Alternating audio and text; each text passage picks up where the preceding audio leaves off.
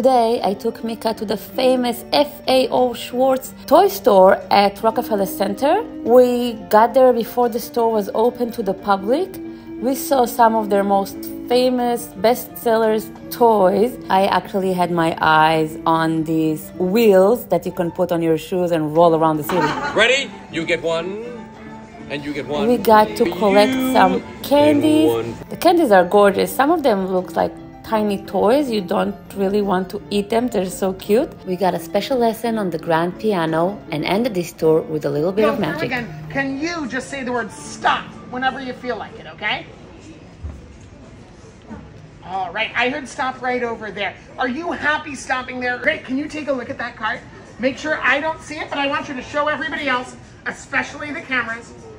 And once everybody's seen that card, we're just gonna put it back on top of the deck for me.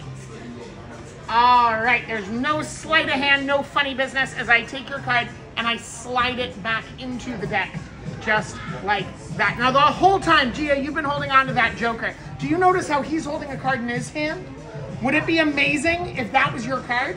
I think that would be really cool. Can you turn it over for me and see if we got it right? Was that your card? Yeah?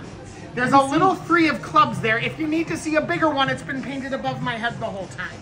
Is that your card? And now look, if I snap my fingers, your card is gonna jump from the middle up to the top of the deck, which should be impossible, but it's a really simple trick.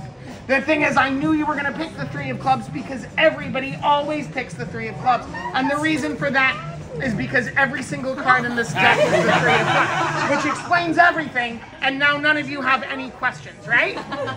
And now the FAO Schwarz is ready for you to come visit. FAO Schwarz,